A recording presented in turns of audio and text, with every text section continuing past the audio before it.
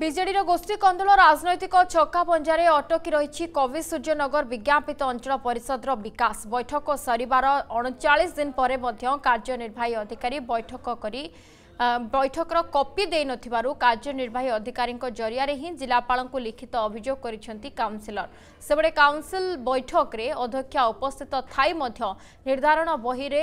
ଉପାଧ୍ୟକ୍ଷଙ୍କ ଦସ୍ତଖତ ପଡ଼ିଥିବା ଯୋଗୁଁ ଅଧ୍ୟକ୍ଷା ଜିଲ୍ଲାପାଳଙ୍କୁ ଅବଗତ କରି ତଦନ୍ତ ଦାବି କରିଥିବା କହିଛନ୍ତି କାର୍ଯ୍ୟନିର୍ବାହୀ ଅଧିକାରୀ କାଉନସିଲରଙ୍କ ଅଭିଯୋଗ ଭିତ୍ତିହୀନ ତାଙ୍କ ବିରୋଧରେ ମିଥ୍ୟା ଅଭିଯୋଗ କରାଯାଇଥିବା କହିଛନ୍ତି ଅଧ୍ୟକ୍ଷା।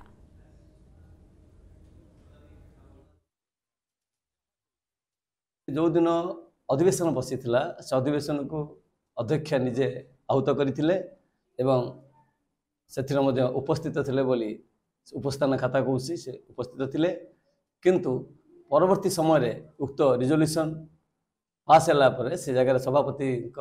ସ୍ଥାନରେ ଉପସଭାପତି ଭାଇସ୍ ଚେୟାରପର୍ସନ ଆମର ଦସ୍ତଖତ କରିଛନ୍ତି ଏବଂ କାରଣ ଦର୍ଶାଯାଇଅଛି ଉକ୍ତ ରିଜଲ୍ୟୁସନରେ ଯେ ଚେୟାରମ୍ୟାନ୍ ଅନୁପସ୍ଥିତ ଥିବାରୁ ସାମୟିକ ଭାବରେ ସେ ଜାଗାରେ ଭାଇସ୍ ଚେୟାରମ୍ୟାନ୍ ତାଙ୍କୁ ଦସ୍ତଖତ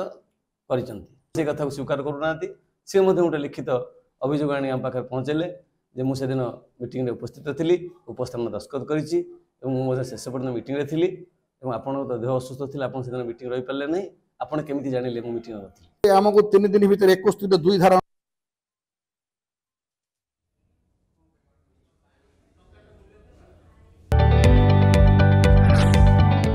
যদি আপনার আমার ভিডিওটি ভালো লাগিলা তেবে আমার চ্যানেলকে লাইক শেয়ার ও সবসক্রাইব করা জমা বি ভুলতু না